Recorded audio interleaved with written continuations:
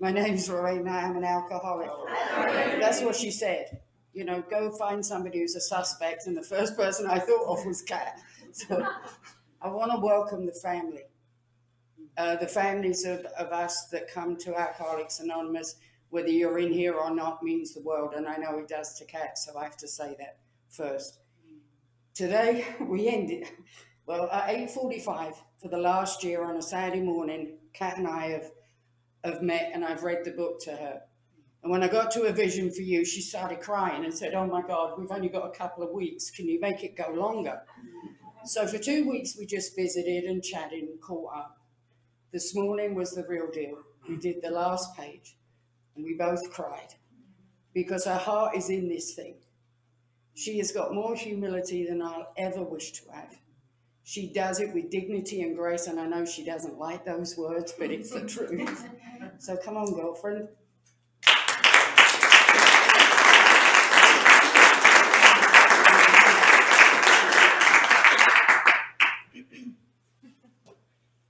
My name's Kat, and I'm an alcoholic. Whew. Super nervous. You know, my alcoholic brain was like thinking I'm going to be in a gymnasium full of people, but of course it's this room and it's a lot smaller. My sister Teresa told you you get to do a lot of uncomfortable things in AA and that your legs and arms won't fall off. I feel like they might fall off. I'm prove you wrong. I have a sobriety date of July 13th, 2019. I have a home group, Sisters in Recovery, in Lynnwood off of 196. If you're a woman in recovery, I invite you because it's a special group we have there. Could be biased, but I think we're special. I have a service position, and I have a sponsor, and I sponsor women in the program. I was born in Portland, Oregon. Um, both my parents worked at Nordstrom, and they had this beautiful little princess that they love to dress up. Me. Looked like I came out of the catalog, but as soon as I could dress myself, I like to wear the boys' clothes. um, you know, always felt different my whole life. Um, maybe it's the alcoholism in me, but you know, I am different and I'm comfortable today and I'm okay saying that I'm different. Um, so grew up in Portland. Uh, sorry, I knew this was gonna happen. Go blank. Um, my dad is in the program and he's here tonight. He's been sober most of my life. Um, and he's he's been a really good example for me. Um, my mom, um, she struggles with alcoholism, and growing up, there was a lot of love in our house, but there was also a lot of chaos. Uh, my mom kicked my dad out a lot of his own house, and he had to move out, and then he could move back in. Um, and I vividly remember my mom, you know, struggling with alcoholism. I didn't understand what alcoholism was at all. Um, but I remember sitting in a parking lot with her and my twin brothers in the back, and she's waiting for the liquor store to open and pours it in her Diet Coke.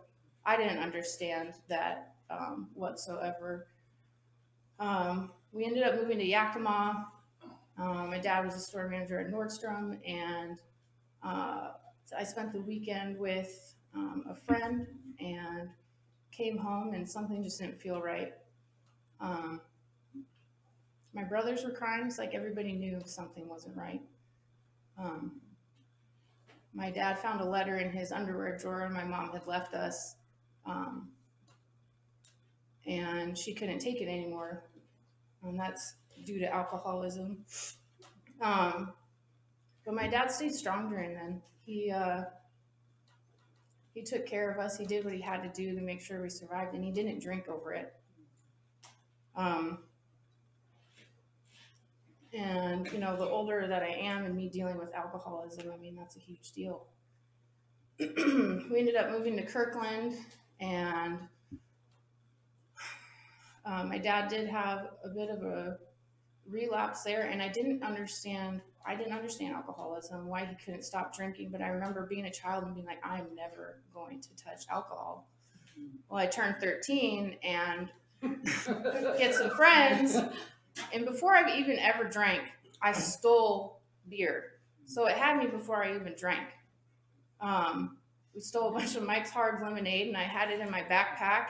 And we were going to miss the bus going to Bellevue Square. And I'm running down the bus hill with the um, glass bottles clanking and they all broke. so my backpack and me soaking in alcohol. So of course we go steal more.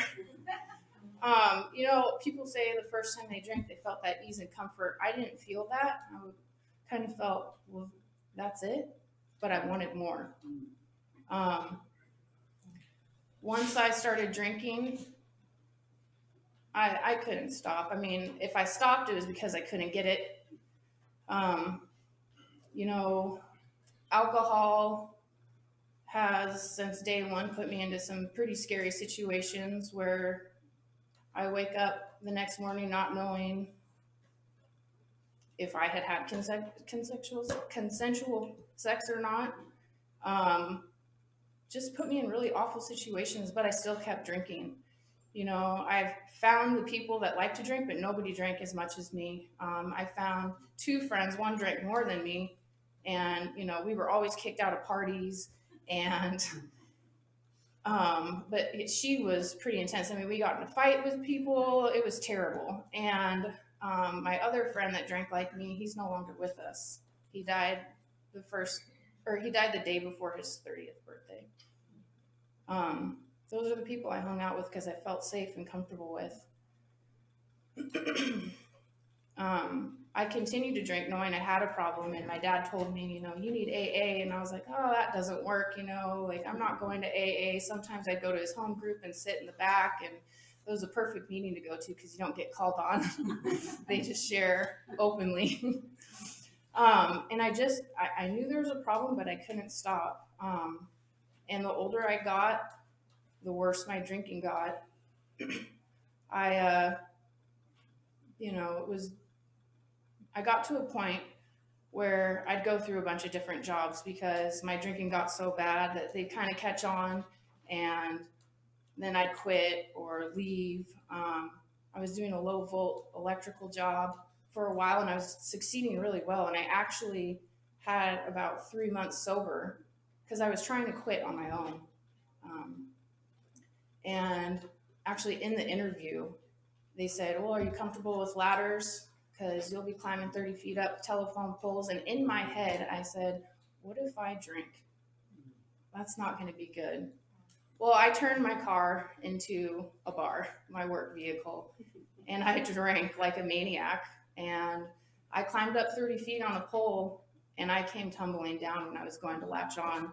Um, broke my ribs on my left side and came to to the homeowner screaming at the front of the house like this awful awful scream. And uh, the medics were called and the first female medic walks up. I used to be an emt so i was like oh no. She came up and she goes whoa because i reeked of alcohol and so i avoided them. I had beer all over the car and somehow i got away with it. I always got away with my drinking there was beer in the car. I ran to the car before my boss came and I threw the empty cans in somebody's trash can. Um, and when I got my work vehicle back, there was still alcohol in there, and somebody else had driven that, and somehow I still got away. You know, I've been in accidents where I hit and run, and state patrol showing up at my dad's house because I left my ID with him, and everybody was like, she looked really out of it. She must have been in shock. No, I was shit faced and, excuse my language, and on pills. Like, it was not good. Um,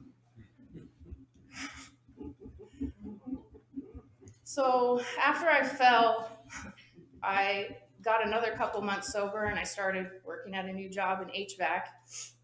And um, shortly after, you know, I was at the gym one morning and I had maybe about five months sober. And I was on the treadmill and I was like, wow, I really want to drink right now. So I just got off the treadmill immediately and I was terrified. I uh, was gripping my steering wheel, like driving past every gas station, like, you just got to get home. You just got to get home. And I went home and I went straight to the wine and I chugged the whole thing. Um, I went to work I couldn't stop drinking for a few days. I went to work, was turned that car into a bar, And the next thing I know is I'm waking up to my phone buzzing, and I don't know how I got home. And my boss has called, Where are you? Come outside. I'm here. I'm covered in urine. And I do the walk of shame out to the car. And he's like, What's going on?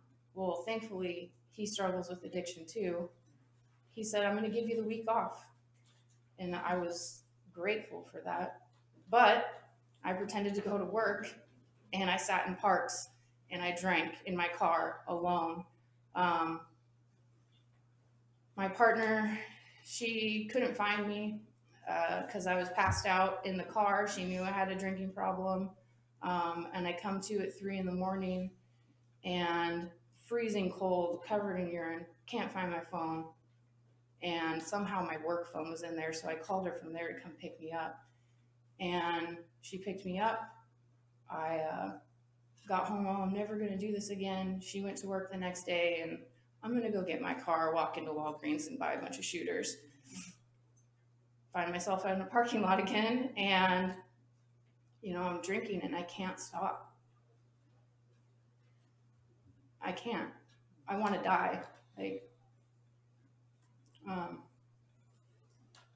I sat there and, um, I don't know. Somehow my my partner had found me, and I ended up going to the hospital, suicidal, and um, really intoxicated. And of course, when I sobered up in the hospital, no, no, no, I don't want to kill myself. And they're rolling their eyes and just another drunk. And I was an EMT, so I know I've been the one eye rolling at drunks, even though I felt their pain and knew exactly what they were going through. I was on the other end this time. Uh, the social worker there handed me a pamphlet and he said, Here's some meetings, you should go to one. Um, I took the pamphlet and, you know, I'm never going to drink again. And I get home and my partner takes all my debit cards, credit cards, and puts a tracker on my phone while she goes to work.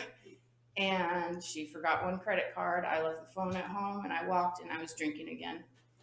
Um, the next day she had off and it was a Saturday. Um, I had that pamphlet and I was staring at it and I was like, well, I'll go to an AA meeting, whatever, it'll get everybody off my case and looks like I'm doing something. And I was staring at the pamphlet and I'd been to the Alano Club in Lynnwood before. Like I drank beers in the parking lot and sat there and I was like, this place is not for me. Like, no, thank you. Um, and I saw women's. And so I was like, well, I'll choose between these two women's meetings. Um, and then I picked Sisters in Recovery, which is my home group. I walked in at 10:01. Meeting starts at 10. Thought I'd slide in the back, and all eyes were on me. they knew. They're hunters, by the way. um, I sat in that room, and they said, "Is there anyone here who has less than 30 days or new to recovery?" And I wasn't going to say a damn word, but God hit me on the back of the back, and I said, "My name's Kat, and I'm an alcoholic," and I started bawling. Um, I could not stop crying. Um, and I just remember the love in that room. And I can't remember much of what people said, but I do remember one person, and that was Lorraine, my sponsor. And she looked at me at the meeting and she got called on and she said, baby, you don't ever have to drink again. And I just started bawling. It was like that we were connected right then and there, and I didn't even know it. Um, I thought she was crazier than shit for saying I never had to drink again, and I didn't believe her. But somehow I decided to be helpful and put a chair away, and I regretted that instantly because this woman came up to me and she was my first sponsor. And she came up to me like we do every Saturday morning to the newcomer, and she said, Do you need a sponsor? And I was like, uh, okay. And uh, she's like, take your phone out. And I have my phone and I'm sitting there and I'm trying to put a number in. My phone's not working. And she was even like, what's going on here? And I was like, I don't know. And I was shaking so bad, like not even 24 hours sober. And I was doing everything that I could, like not to drink. You know, I wanted to leave that meeting and I wanted to go to 7 Eleven and buy beer, even though I had a tracker on my phone. I was like, I'll stop real quick Um, I walk out of the meeting, everybody's laughing and having a good time, and I'm running for my car. Um, I get in my car and my phone starts ringing, and it's my first sponsor. And I'm like, why is she calling me already? I was like, oh my gosh. And I was like, what did I do? I was like, I don't want to sponsor. I don't want to do this AA thing. And I answer the phone and I'm like, hello? And she's like, she didn't mean to call me. She butt dialed me. And that was God right there.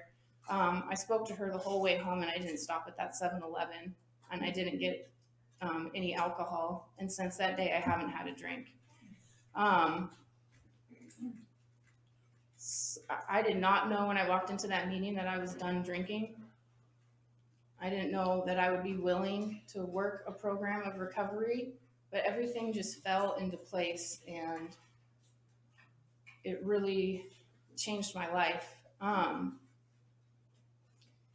at about a year sober, I uh, kind of knew with my sponsor that I could get away with kind of anything, and I didn't really have to. I was stuck on my amends, and she was going through something, and you know, I, my expectations of her were probably not that great. They were, you know, I expected more out of her. Like, I, what do I know what a sponsor's supposed to do? You know, so you know, I knew I was getting away with you know, not doing the program, and Lorraine called me and she said that I needed to get a new sponsor and that I know who it is. And I was like, Yeah, I know.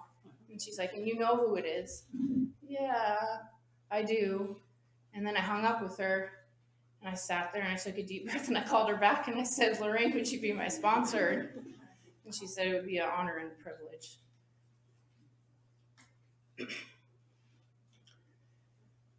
The last year has been absolutely amazing.